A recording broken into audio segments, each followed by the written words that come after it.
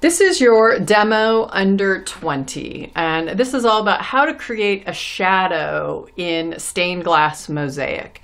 And I, um, this is it takes a lot longer than 20 minutes to create this um, image and this project. So I've gone ahead and done a little bit ahead of time, but I want to talk about what's sitting here in front of me. So basically, I just want to do a very basic design, and obviously this is a sea turtle, and the sun is shining this way down on the turtle, and here are our shadow marks. So I've put the glass in for the turtle, very basic. I've been using white thin set on a Wedi board that I did a scratch coat of white on, just so everything was white and you can really see what's happening here. Now the glass choices are what's really important. So for the turtle, obviously I just wanted to pick something very simple and create um, the image of a turtle. This is not any kind of perfect sea turtle, and if I were doing a commission, this would be unacceptable. But it's great for this demonstration. I used my wax paper method for cutting the glass, and you can find that in one of the earlier demos under 20, and that's a great way if you want to learn how to cut the exact size of a piece of glass or shape of a piece of glass to fit in a design. It's a lot of how I did the mermaid, which is on the homepage of Mosaic Arts Online. So my tools were obviously my favorite running pliers, which are Dragon, my Leponitts, which are my favorite nippers for working in stained glass, and a glass scorer from Toyo, and my cork back ruler. Always have those available when I'm working in stained glass. This is a really great glass. It's Youghiogheny. It's got some good texture on it, which is what I wanted for the um, legs, fins, and the head. So now let's really quickly talk about what is going to create this shadow effect and what kind of water. Um, it's obviously swimming in water. I'm going to show you how I do my water effect like I've done for the mermaid with, this is Paul Wissmach's, uh, it's a turquoise uh, color that I love that's iridized on one side.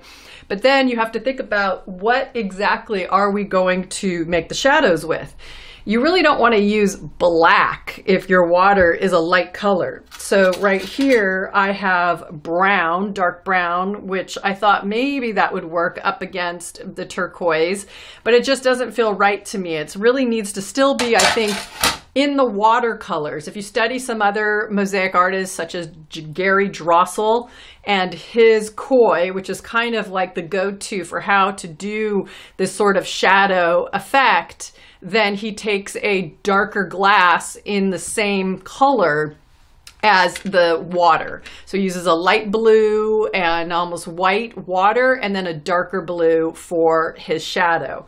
So then I started looking at more of a cobalt color and I'm not really a fan of cobalt against the turquoise. It's just never sat right with me. I don't think they go together. And I'm not getting to get into color theory and all that right now, but I just wouldn't pick this one. So what I've chosen to go with is this dark purple and it's a Youghiogheny as well. And what I love about it is all of the striations that and the you know wispies that are going through here because we want to create the color, um, the effect of water, and there's a, some of that in this as well with the Wissmach. So when I come back, I will have cut these four shadow, these few shadow pieces and we'll talk about laying those in and then what to do, how to make the really the water have that movement so that it looks like the turtle is swimming, but that the light is really shining down from here.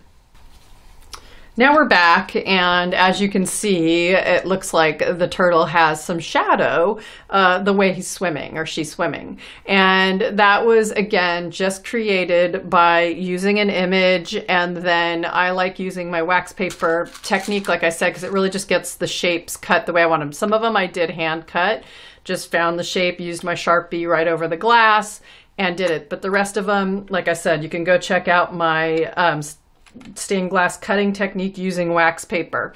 Um, I also wanted to create a little more the bump effect here that is sort of the bump effect on the turtle. So um, my image um, has a little bit of bumpiness and then there's a little bumpiness there. So anywhere that you find that um, there is just the nuance of a shape on your main focal point, what it is, the turtle, you want to translate that into your shadow. So that's why it was important to have this little a notch out, which is very similar to the notch here, and the same thing here, and the same thing there. So while um, you're here with me, I thought I would just adhere these. So I'm using the Mapei um, mortar that is called. Um, glass and tile adhesive. It's easily found online. Floor and Decor always sells it. If you have one nearby, you can um, go pick it up or they do ship. They're probably them and Lowe's are the easiest way to get um, this exact brand of mortar. But if you like Laticrete, use Laticrete. A lot of people love Laticrete.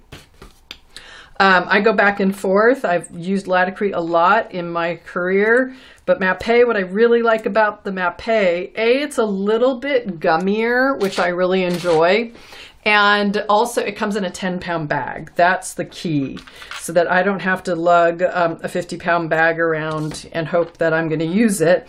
And especially nowadays, I don't create as much as I used to. So I'm not going through um, the mortar as fast as I did. So I'm working a little messy right now just because, again, demo under 20, but we will, um, where do you go? It goes this way. Um, I'll clean up before we move on to the water. So the water will be the last part of this, and I'll um, demonstrate a little bit in the next section how I create my wave effect. And it's pretty basic, but it seems to really uh, do a good job of, um, just make sure I'm putting this in. Did it just flip? Yeah. Nope. This way. Hold, stick with me on this little guy. Here it is. It's that way.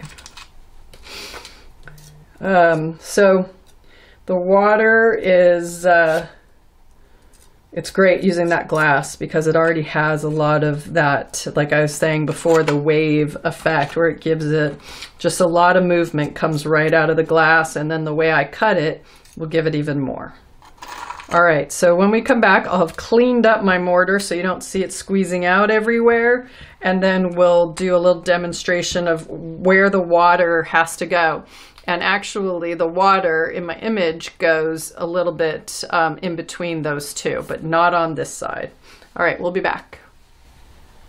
All right, now we're back, and um, like I said, this is a little bit more of a complicated project to uh, create in 20 minutes, but I just wanted to give you a little demonstration. Obviously, you can see I've done my water waves. I'm using really big pieces of glass just to um, kind of take up the real estate right now so that it could move along a little quicker. I did have to use some smaller pieces as I went around the turtle and the shadow. But what I do, I'm going to show you on this piece here. As you can see, the water is darker um, on what would be considered the deeper part. And then if the turtle's swimming up, then this is the light. And again, the light is still coming from this way, even though um, we have darker on the bottom and lighter on top. The shadow is still uh, pushing from the light over the turtle that way. And that's what you always want to consider when you're doing shadows is where is the light coming from? Obviously in shading that is super important as well. But for this shadow effect, that is obviously the most important thing um, you're trying to achieve. So I just thought I'd give you a quick demonstration on this messy table how I do these cuts. And they're very um, sort of random. I, I do like starting with a straight edge here. That just saves me time is that if I do have an edge on my mosaic, then this is going to be the edge of the glass. And sometimes I draw the lines, as you can see here. Sometimes I don't. But the whole idea is that I'm just going to show you a really quick demonstration. I love to make these waves and this glass is a little thicker and textured, so it's a little challenging to cut, but let's see if we can get this one um, cut. So I always start on one end. Oh, it went. That was perfect. I was going to go cut the other end, but it did it for me all the way through. So now what I would do is I would start to work in a piece like this over here. So it has its edge. It does have this edge, but we'll work that out in a second. But I need to make sure I match this line here where this piece is. So how would I do that? So really quickly, let's bring in my handy dandy wax paper. and I go on top of the wax paper with my Sharpie on top of the design. And I'm going to trace where the glass needs to be cut. And like I said, we already know that we have an edge here. So we're going to use this edge right here. And I need to curve this a tiny bit. So let's see if I can do this on camera. Put up my, uh, all right, so this is already a problem for, well, we'll make it work. It's a little too short, but that's okay. We don't need to match up exactly where that is. It's just important that we, this curve is important and that line is important. So we're gonna go on top of the wax paper with the score and I've already slipped a little, but I think it'll still work. And you always want to go edge to edge when you cut your stained glass. So the first part I want to cut is here.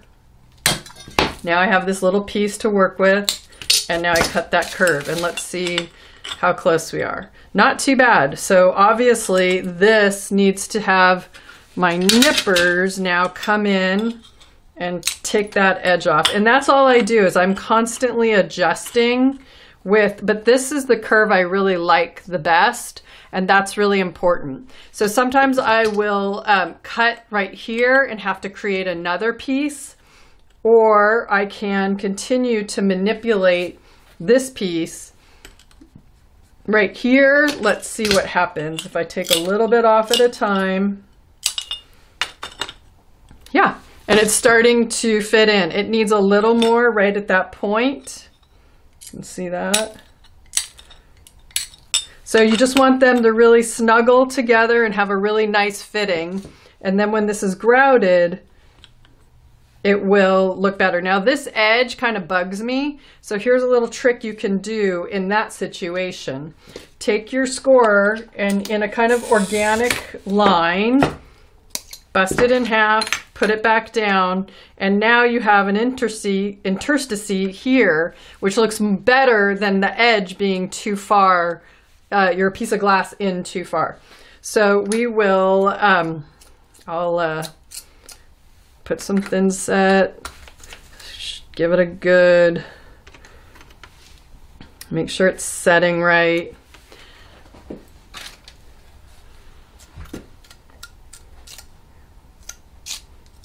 Back buttering is sort of how I have always worked. Again, jiggle just to make sure your mortar is going all over the back side give some adjustments to everything. And that is um, the dark piece. So I would work my way up into lighter as I'm doing this, but I have a lot of glass to choose from. So now this is an already cut curve. So this is lighter. So what would be fun maybe is to bring this piece in and it would be a continuation of that curve and let's see where it would actually look best. So maybe it's something that kind of fits in here and we just fill in with a couple, but it's still giving you that curved effect. So I'm going to be really kind of cowboy this thing here. So having worked with stained glass for many years, it's sort of a uh, intuitive process for me at this point. So what I need to do again, I'm going to actually cut this piece here because it's got a really nice, and as you start getting towards the not having as much um, uh, space, you got less space to fill in, things can start to get a little um, funky with your filling in. So I'm gonna have to fill in here, I'm gonna have to make a piece here, two pieces here, and one more there. So when we come back, I'll have finished putting all the pieces in and we'll talk about um, what might be my choices if I'm going to grout it. We are back and the demo in under 20, which was hardly 20 minutes, is completed. And um, it's one of those things that you want to look at from far away and you will see the perspective of the shadow. Sometimes when you look up really close at these mosaics, you're like, what's up with the purple under the brown uh, tile?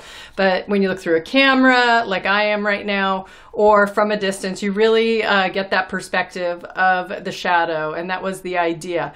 And I did do some of my wave water here. I'm really proud of this side. I'm not really proud of this area right here. Um, if I had more time, I'd tear out a few of these, but it's not as bad um, as it could be. What was really important to me is the grain of the glass stayed um, in this direction, the horizontal direction. I didn't want to change that grain, so it took a lot of choosing the right glass so that the grain stayed all in that horizontal direction. So this is your demo in under 20. Go um, check out how to uh, create shadows. Always look where the light is coming from when you are going to make something like this. And it's a great practicing tool to use for all types of realism types of mosaic in stained glass or other uh, mosaic materials.